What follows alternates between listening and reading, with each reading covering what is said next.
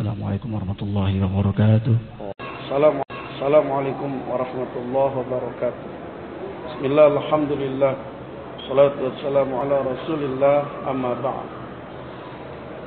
Saudara-saudaraku sekalian, Rasulullah Shallallahu Alaihi Wasallam pernah menawarkan kepada para sahabatnya, wahai para sahabatku, maukah aku ajarkan perbuatan yang perbuatan ini mampu menghapus daripada dosa-dosa yang ada pada diri kalian tanpa beristighfar, tanpa bertobat, tanpa menangis dengan melakukan perbuatan ini maka dosa-dosa kalian akan tergugurkan dan digugurkan oleh Allah Subhanahu wa taala.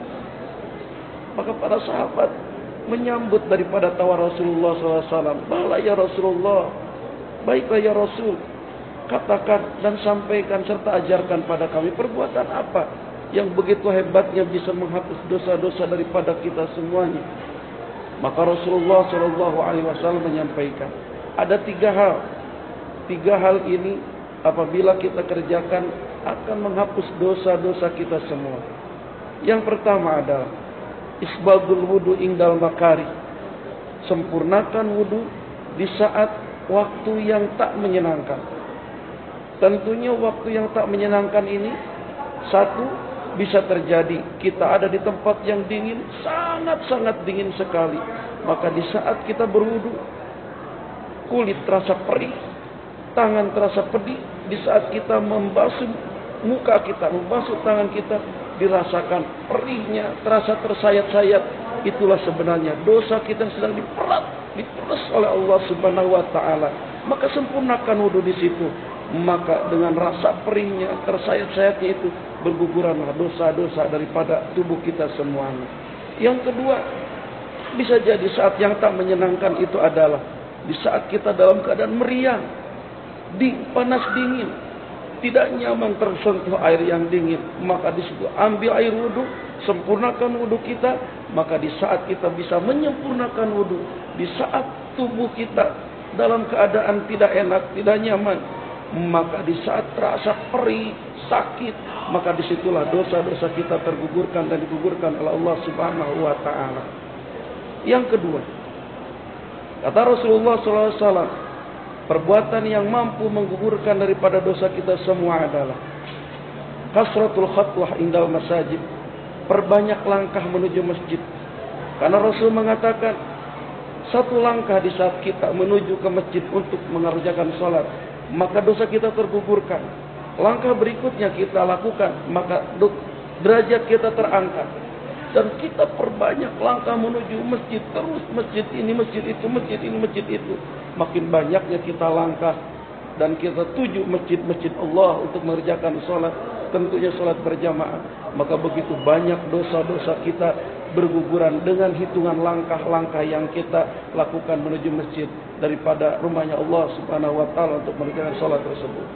Yang ketiga, kata Rasulullah SAW perbuatan yang mampu menggugurkan dosa kita tanpa menangis, tanpa istighfar, tanpa bertobat adalah intidharus salat ba'da salat, menunggu salat yang kedua setelah pelaksanaan salat yang pertama. Salah satu contoh kita selesai mengerjakan sholat maghrib, kemudian kita zikir, kemudian kita baca Quran, kemudian kita bersolawat, kemudian kita bermunajat sama Allah. Tidak berpindah tempat. Dari tempat tersebut kita tunggu sholat berikutnya itu sholat isya. Maka detik per detik penantian dan penungguan kita dari sholat pertama menuju sholat yang kedua maka itu akan menggugurkan dosa-dosa kita semuanya. Maka insya Allah tiga hal ini akan membantu dosa-dosa yang ada dalam diri kita, di mata, di hidung, di mulut, di tangan, di hati, di tubuh kita. Tiga hal ini tanpa menangis, tanpa istighfar, tanpa bertobat, maka dosa-dosa kita akan tergugurkan dan digugurkan oleh Allah Subhanahu wa taala. Dan hadis ini diriwayatkan oleh Imam Muslim.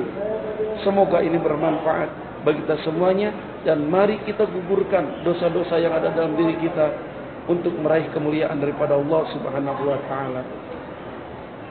Kalau kita jelaskan bahwasanya keutamaan tauhid banyak. Keutamaan tauhid banyak. Tetapi dikhususkan Pengguguran dosa karena dia sangat penting. Karena manusia tidak luput dari dosa-dosa. Nah, barang siapa yang bertauhid, maka dosa-dosanya bisa gugur. Meskipun dia tidak beristighfar. Saya ulangi, barang siapa yang bertauhid, maka dosa-dosanya bisa gugur meskipun dia tidak beristighfar, meskipun dia tidak bertobat. Allah memberi karunia. Kalau dia bertauhid, maka dosa-dosanya bisa Allah gugurkan. Dan dosa-dosa ini umum. Dosa-dosa ini apa? Umum. Kita telah jelaskan tadi, ma di situ bukan nama usulah, tapi ma apa? Al-Masdariyah. Paham atau tidak? Yang nggak ngerti bahasa Arab agak bingung ya. Tapi ini secara ringkas ya. Kenapa masalah penguburan dosa ini sangat penting? Karena itu penting. Kalau dosa kita nggak gugur, gimana mau masuk surga? Bagaimana kita masuk surga? Bagaimana kita mau selamat dari neraka jahanam kalau dosa kita tidak digugurkan? Maka disebutkan secara khusus keutamaan tauhid tentang ini, penguburan dosa. Oleh karenanya dalam syariat banyak sekali Rasulullah SAW memotivasi untuk beramal soleh dengan masalah penguburan dosa.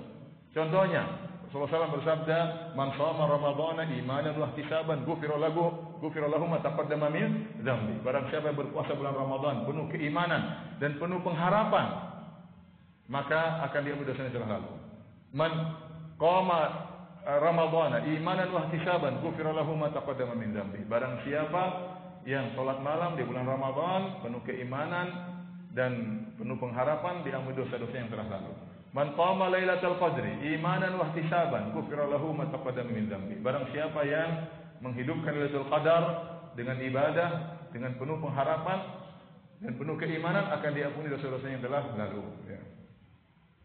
Man tawaddaa nahwa wudu'i hadha thumma shalla rak'ataini la yuhaddithu fihi ma nafsahu ghufira lahu ma taqaddama min dzambi. Barang siapa yang salat berwudu dengan tata cara wuduku, kemudian dia sholat dua rakaat, kemudian dia khusyuk, tidak ngajak bicara jiwanya dengan perkara dunia, maka akan diampuni dosa-dosa yang telah telah lalu. Al umratu il al umrah kafaratun lima bainahuma. Antara umrah yang satu dengan umrah yang lainnya menggugurkan dosa-dosa di antara keduanya. Wal hajjul mabrur laisa lahu jazaan ilal jannah. Adapun haji mabrur tidak ada balasan setimpal kecuali surga. Rasulullah SAW juga ber, ber, bersabda, "Man hajja wa lam yarfus wa lam yafsuq, raja'a min dhunubihi ka yaumin waladatu ummuhu." Barang siapa yang berhaji, tidak berbuat rafas, tidak berjima dengan istrinya tatkala sedang ihram, tidak berbuat maksiat, tidak ber lam yarfus, lam yafsuq, tidak berbuat maksiat, raja'a min dzunubihi akan bersih dari dosa-dosanya sebagaimana baru dilahirkan dari perut ibunya. Jadi banyak ibadah-ibadah yang luar biasa motivasi Nabi dengan penguburan apa? Penguburan dosa. Ya, uh, innal ladzina yakhshawna rabbahum bil ghaibi lahum maghfirah wa ajrun kabir. Sungguhnya orang-orang yang takut kepada Allah tatkala sedang bersendirian. Lahum maghfirah bagi mereka apa? Ampunan. Jadi ampunan ini luar biasa digugurkannya dosa-dosa.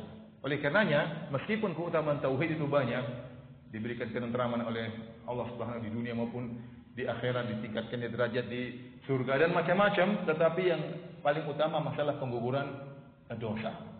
Ini adalah keutamaan yang paling spesial oleh karenanya disendirikan penyebutannya oleh Syekh Muhammad bin Abdul Wahab. Assalamualaikum Ustaz. Waalaikumsalam warahmatullahi Ibu saya rahimahullah baru meninggal dua pekan yang lalu. Kalau bisa jangan nulis dua minggu jemaah. Walaupun kita sering ngomong dua minggu. Tapi dua pekan atau dua Jumat yang lalu. Karena umat Islam dari Jumat ke Jumat. Untuk melihat hadisnya. Sholat yang lima waktu. Dari Jumat ke Jumat. Dari Ramadan ke Ramadan. Nggak ada dari minggu ke minggu. Yang ada dari Jumat ke Jumat, ya kita perlu lestarikan. Disebabkan karena sakit yang dibilang cukup parah. Apakah sakit tersebut adalah pelebur dosa? Nah, sakit itu kata Nabi alaihissalam kafarat sebagai pelebur dosa. Orang ini sabar nggak sabar jadi pelebur dosa. Tapi kalau orang itu bersabar akan mendapatkan pahala dari Allah Jalla Jalal. Kalau dia tetap beribadah. Karena ada orang sakit berhenti sholat. Dengan alasan nanti kalau saya sembuh saya akan sholat. Siapa yang menjamin dia akan sembuh? Akhirnya sakit dua minggu, nggak sholat dua minggu. Maka ini berbahaya. Mudah-mudahan orang yang sakit tetap kita ingatkan untuk Salat.